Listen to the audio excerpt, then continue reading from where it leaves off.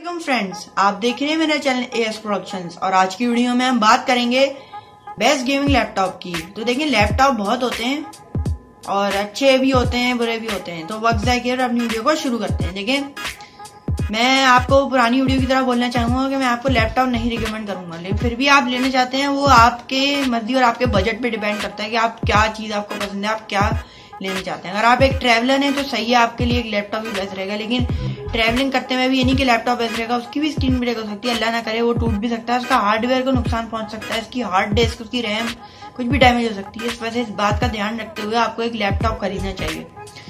तो लैपटॉप में आपको बताऊँगा, लेकिन लैपटॉप में आपको बता दूँगा, बहुत लैपटॉप है, इतने सारे के जो ना आप ले सकते हैं। हर लैपटॉप आपके लिए बना है अच्छा लैपटॉप है, हर लैपटॉप हर तरह का अच्छा होता है।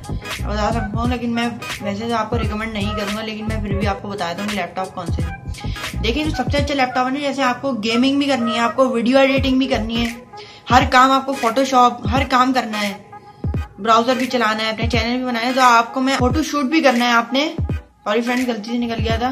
तो उसके लिए मैं आपको रिकमेंड करूँगा आई फाइव एट जनरेशन या नाइन्थ जनरेशन का लैपटॉप जिसमें कि सिक्सटीन जीबी रैम होनी चाहिए और उसमें वो हार्ड जितनी भी हो, बाकी आई फाइव एट जनरेशन होना चाहिए। इसमें आप वीडियो एडिटिंग फोटोशॉप गेमिंग हर काम आप उसमें कर सकते हैं।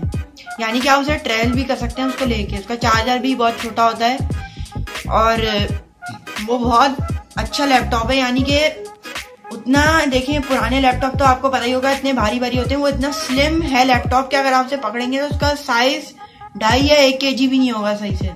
तकरीबन डेढ़ से ज़्यादा डेढ़ के होगा उसका साइज़ तो मैं आपको वही रिकमेंड करूँगा और अगर आपका बजट ज़्यादा है तो आप आई सेवन नाइन्थ जनरेशन या आई नाइन की तरफ़ भी जा सकते हैं। अगर आपको बहुत सारे काम करने हैं तो आपको ज़रूरी आई नाइन ही लेना पड़ेगा आपको। अब मैं आपको बताऊँगा कि जैसे कुछ लोग बोलते हैं कि जो है ना, हमारा बजट कम है। देखिए, हमारा बजट कम है, हमें इतना महँगा हम नहीं अफोर्ड कर सकते क्योंकि सस्ता बताएँ।